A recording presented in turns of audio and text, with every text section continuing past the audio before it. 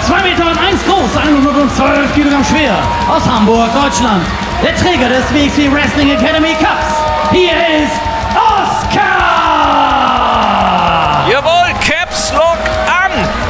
Und, oh, ja, der Head Coach der WXW Academy, Robert Dreisker, lässt sich hier auf den Streit ein, will ihn hier davon scheuchen.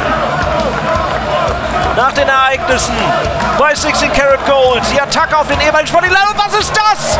Du begießt ihn hier mit seinem Getränk. Das darf doch nicht wahr sein. Was für eine Respektlosigkeit von Robert Dreisker. Und ja, ja, das, das blüht hier jedem zahlenden Kunden, der die Wrestler angeht.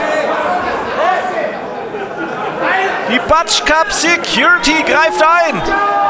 Völlig zu Recht. Streiten ist okay. Aber das Getränk darf nicht fliegen. Unglaublich.